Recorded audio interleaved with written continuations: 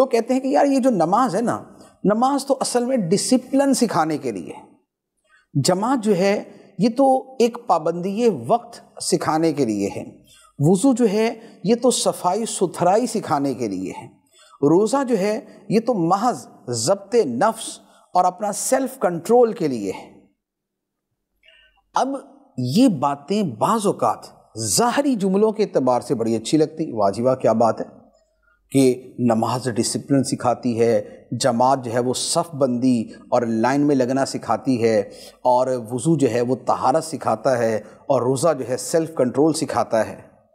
लेकिन यही बात दो अंदाज में कही जा सकती। एक तो ये कि इन इबादत से मकसूद यही है। अगर ये बात है तो गलत है। दूसरा ये है कि भाई इबादत की जो ज़रूरत अहमियत है, वो फ़ी नफसी ही है। यानी वो अपनी जगह ज़रूरी है। हाँ उसके साथ ये फ़वाद भी हासिल हो जाते हैं कि जब बंदा नमाज़ पढ़ता है और पाँच वक्त वज़ू करता है तो उस वज़ू से उसे तहारत, उसे फ्रेशनेस, उसे बदन की ताजगी हासिल होती। और ये उसकी सेहत के लिए भी फ़ायदेमंद चीज़ है। जब वो इबादत करता है तो इबादत की वजह से उसे कंसंट्रेशन भी मिलती है। इसके साथ जमात की पाबंदी जो है डिसिप्लिन भी सिखाती है लाइन में लगना भी सिखाती है। ये है इजाफी फ़वाद ये असल उसूल मकसद ये नहीं है।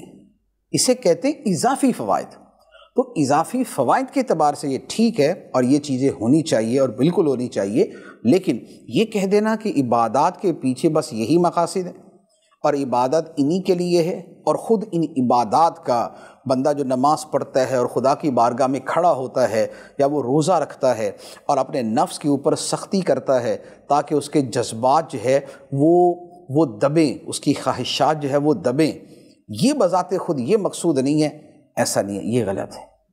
ये इबादत मकसूद बिज़ात भी हैं और इसके अलावा ये दीगर कई अहम चीज़ों के लिए ज़राए और इसबाब भी हैं। कुरान हदीस के अगर नसूस और जो है वो अहकाम को पढ़ते हैं तो पता चलता है कि ये वाज तौर पे मकसूद भी ज़ात भी हैं और ये ज़राए भी हैं। जैसे, अब नमाज़ को ले लें। नमाज़ मकसूद भी ज़ात है, ये बज़ात ख़ुद मकसूद है। अल्लाह ताला ने कुरान पाक में नमाज़ को ईमान फरमाया। चुनाचे।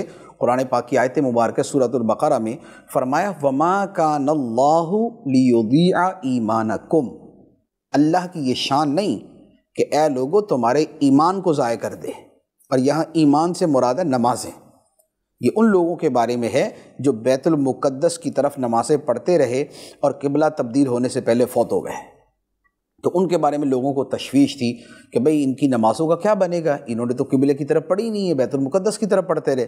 तो उस पर अल्लाह ताला ने फरमाया, वमा कान अल्लादिया ईमान कुम अल्लाह की ये शान नहीं कि ए लोगों, तुम्हारा ईमान ज़ाया कर दे। अब ये देखिए, ईमान किसे फरमाया? ईमान अल्लाह ताला ने नमाज़ को फरमाया। तो ये ये तो नहीं हो सकता कि गैर मकसूदी चीज़ है और उसे जो है वो ईमान करार दे दिया गया। नहीं, वो बज़ात ख़ुद मकसूद चीज़ है। इसी तरह हदीस मुबारक में मुस्लिम शरीफ की हदीस है नबी पाक सल्लल्लाहु अलैहि वसल्लम ने फरमाया कि बंदा सब हालतों से ज़्यादा सजदे में अल्लाह ताला के करीब होता है। जब बंदा सजदा करता है तो वो सबसे ज़्यादा अल्लाह ताला के करीब होता है। इसका मतलब ये हुआ कि ये नमाज़, ये सजदा, ये बज़ात ख़ुद इतनी अहम चीज़ें हैं। क्यों? इसलिए कि इसमें आजजी है। इसलिए कि इसमें अल्लाह ताला की बारगाह में अपने आप को जो है वो सरेंडर कर देना है। इसमें अपनी अपनी नफ़ी है, नफ़ी ज़ात है इसके अंदर। ये खुदा की बारगाह में बंदा जो है वो अपने आप को पेश कर देता है। इसी तरह दूसरी हदीस मुबारक है। बुखारी शरीफ की हदीस है कि जब बंदा नमाज़ पढ़ता है तो नबी पाक सल्लल्लाहु अलैहि वसल्लम ने फरमाया फ़िन्नहू युनाजी रब्बाहू।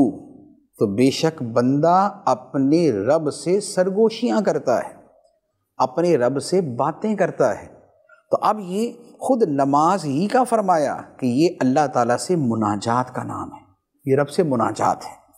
अच्छा फिर इसी तरह बुखारी शरीफ की एक और हदीस मुबारक है, हदीस कुदसी है कि अल्लाह ताला ने फरमाया फरमाया, वमा तकर्रब इलैया अब्दी बिशैन अहब्बा मफ्तरतु अलैह।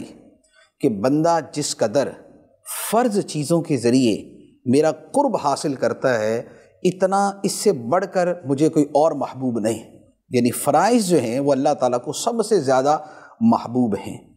और उसके बाद फरमाया, वमा यज़ाल अबदी तकर्रबली बिन नवाफिल उहिब्बहू। और फिर बंदा नवाफिल के ज़रिए मेरा कुर्ब हासिल करता रहता है हती कि मैं उस बंदे को अपना दोस्त बना लेता हूँ मैं उसे अपना प्यारा बना लेता। हूँ और जब मैं उसे अपना प्यारा बना लेता हूँ तो फिर उसके बाद फिर वो पूरी हदीस मुबारक मैं उसकी समा बन जाता हूँ, जिससे वो सुनता है, मैं उसकी बसर बन जाता हूँ, जिससे वो देखता है, मैं उसके हाथ बन जाता हूँ, जिससे वो पकड़ता है, मैं उसके पाँव बन जाता हूँ, जिससे वो चलता है।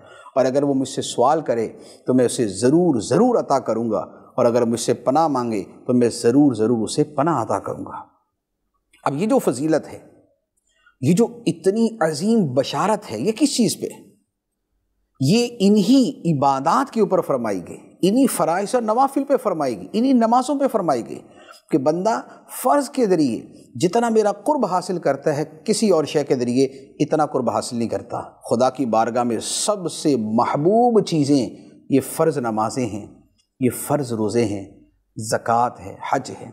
और फिर जब बंदा इनके साथ यही काम नफली तौर पे शुरू कर लेता है, वो नफली नमाज़ें पढ़ता है, वो नफली रोज़े रखता है, वो सदका व खैरात करता है, वो नफली हज करता है, वो उम्र करता है तो ये अमल करते करते वो खुदा को इतना प्यारा हो जाता है कि खुदा उसे अपने दोस्तों में शामिल कर लेता है।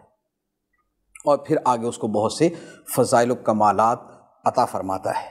तो अब ये फ़ज़ाइल किस चीज़ की हैं? ये नमाज़ के हैं।